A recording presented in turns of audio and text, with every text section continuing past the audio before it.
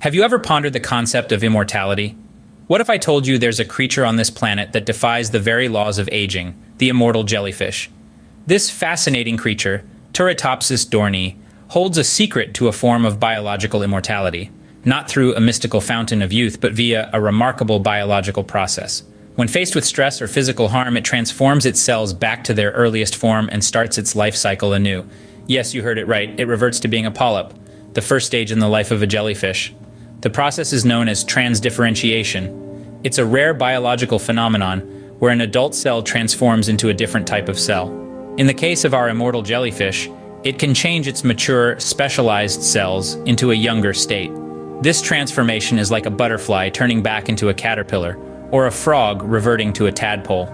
This wonder of nature is not just a simple party trick, it's a survival strategy, a way to cheat the Grim Reaper himself. When conditions get tough, the jellyfish simply hits the reset button, giving it another shot at life. To summarize, the immortal jellyfish is a unique creature that has the ability to revert its aging process. When faced with threats, it transforms back into a youthful state, starting its life cycle all over again. This process, called transdifferentiation, is a rare occurrence in nature and is the key to the jellyfish's immortality. The immortal jellyfish is a testament to the diversity and adaptability of life on our planet.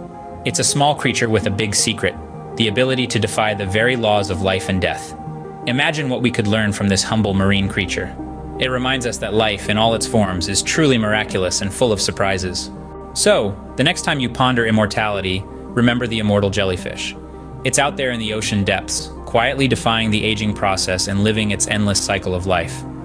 Until next time, keep exploring the endless wonders of our planet, because who knows what other secrets it holds.